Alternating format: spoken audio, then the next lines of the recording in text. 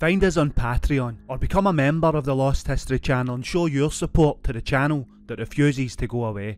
Wait till you hear this. We look to the stars and we know we are not alone in the universe.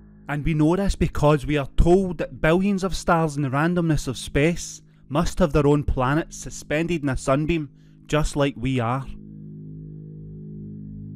Billions of the billions of stars with trillions of planets tells us that more than us must exist. Anything less than knowing we are not alone is unfathomable to most, but remember, we are the universe. The search to find an intelligence in a universe similar to our own came into popular thinking around the time of Nikola Tesla, and in the 1940s the phenomena exploded in the wake of World War II and is still continuing into our time. In 1960, the leading scientists by that time, Philip Morrison and Giuseppe Cocconi, and they wrote an article in the British journal Nature about the search for extraterrestrial intelligence. And in that article, they had mentioned that we should be listening to certain radio frequencies to intercept messages that might be arrived from somewhere else other than Earth. And they concluded that the extraterrestrials must exist somewhere in the universe, and we will be able to see them and communicate with them one day in the not too distant future.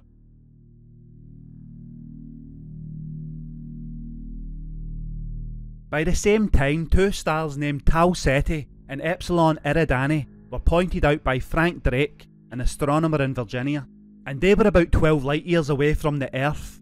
Following the American scientists, Russian scientists too tried their part, and on the 12th of April 1965, they received a strong radio signal with high intensity, but later discovered that they were emanating from the quasars in the distant galaxies.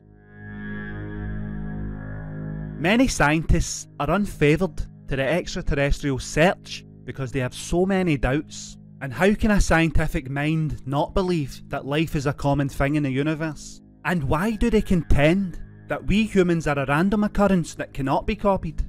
Kenneth Arnold was an American aviator and businessman, best known for the first widely reported unidentified flying object report in the United States, and he had claimed that he had seen around nine unusual objects flying in a chain-like formation on June the 24th, 1947, near Mount Rainier in Washington.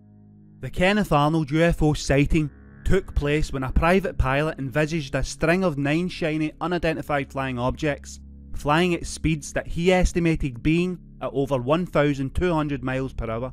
And to the world at the time of this sighting, this was the first post-war glimpse into the United States, which garnered news coverage nationwide and is credited to be the first of the modern era of UFO sightings which included various reported sights for over the next two to three weeks.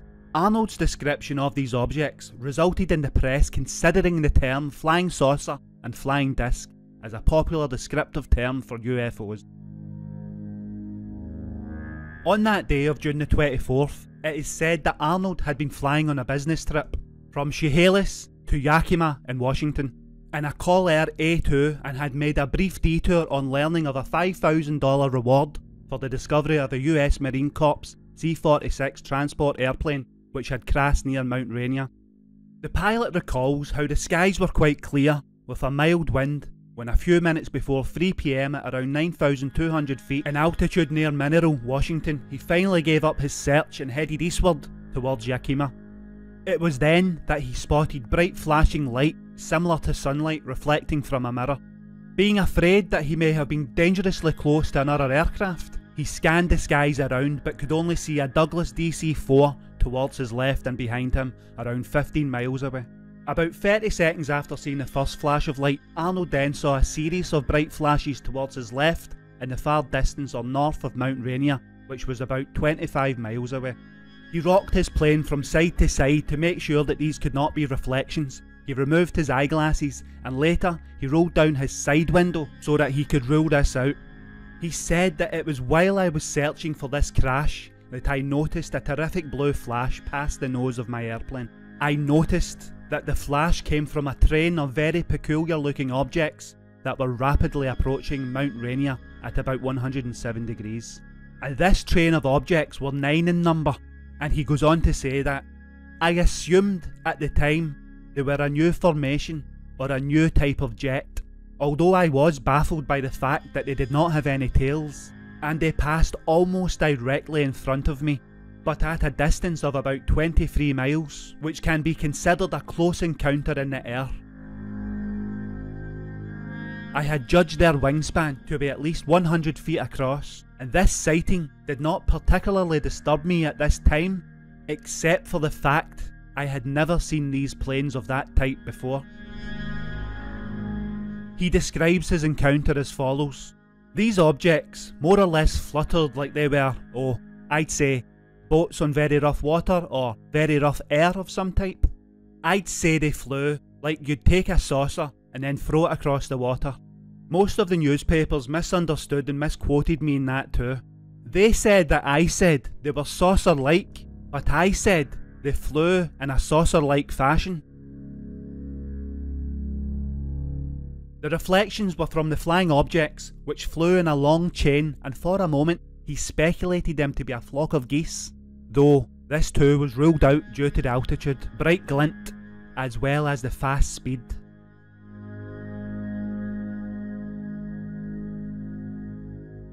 He had then considered it to be a new kind of a jet and took a keen interest for more details on these mysterious objects. He later identified the source of the flashes which were a series of fast moving objects and he described them as silvery and shiny. The most amazing aspect of these objects were the absence of a tail that appeared like a pie plate, which meant that the objects seemed to have a raised top on them and are closely fitting with that of the large UFO photographed at the time of the Battle of Los Angeles. And even though in a 1930s UFO report in Texas the term saucer was used, it was actually meant to indicate the relative size of the object from arm's length, and Arnold had informed that the objects moved like saucers when skipped across the water.